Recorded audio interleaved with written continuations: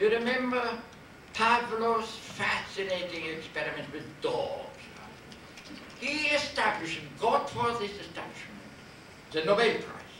What he showed was the following. He put a dog on a table, showed the dog a piece of meat.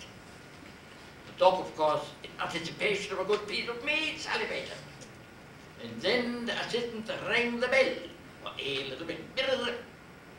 Okay, this was going on one week, two weeks, and three weeks. And then the assistant came only in with the bell, ring the bell, the dog salivated.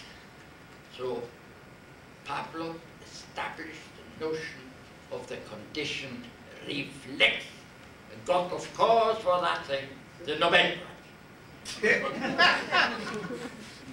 A Polish experimental psychologist said, I can repeat the experiments exactly a la uh, Pavlov, because Pavlov was carrying out the most beautiful, exact lab uh, records that exist in psychological history. So uh, Konorski was this gentleman.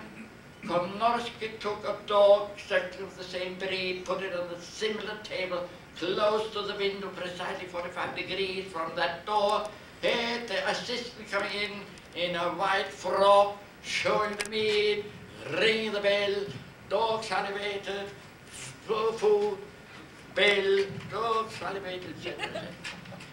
now Konorski established the crucial experiment.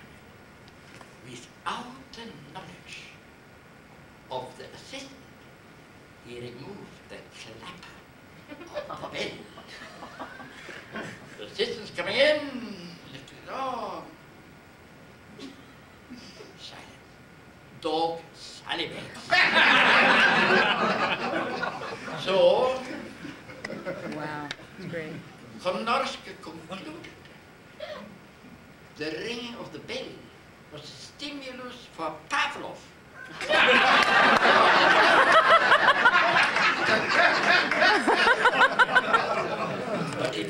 not get the doping.